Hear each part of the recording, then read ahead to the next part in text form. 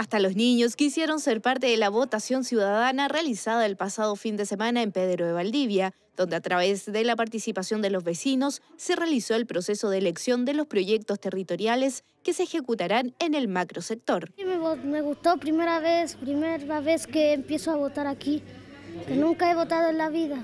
Esta es la primera vez. Sí, familia completa, los papás con los niños y acá alegre, no más que el día, como les digo yo, no lo acompaña mucho. Seis locales de votación se encontraban habilitados para el proceso de emisión de sufragios, donde los niños a partir de los seis años votaron por las iniciativas que más le interesaban, las cuales tendrán un financiamiento de 1.500.000 pesos. Los niños también se van acostumbrando al voto cívico, porque eso es muy importante, que los jóvenes están muy alejados de eso. Así que es importante de chiquitito uno enseñarles que ahí está el voto cívico para cuando hay que elegir nuestro presidente, todos los senadores y todo lo que se involucra en la política. Es importante. Es importante señalar que los proyectos que sean seleccionados serán ejecutados por el municipio de Temuco para que así los vecinos puedan ver plasmadas sus necesidades a través de las obras concretadas. Bueno, me parece buena para poder sacar adelante nuestros proyectos acá y y que sea la villa más, más grande, que hacerla crecer el sector acá de Pedro Valdivia.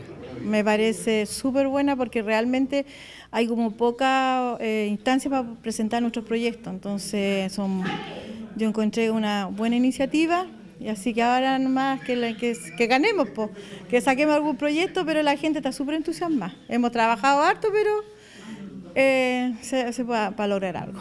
Los proyectos de carácter territorial contarán con un financiamiento que va desde los 9 hasta los 13 millones de pesos, mientras los proyectos sectoriales contarán con un presupuesto de hasta 7 millones de pesos. Eh, muy contentos, muy conformes, esperamos que este tipo de actividades las podamos desarrollar en el resto de la comuna también en los años venideros y tengamos ahora sí una buena experiencia que estamos logrando con esta actividad.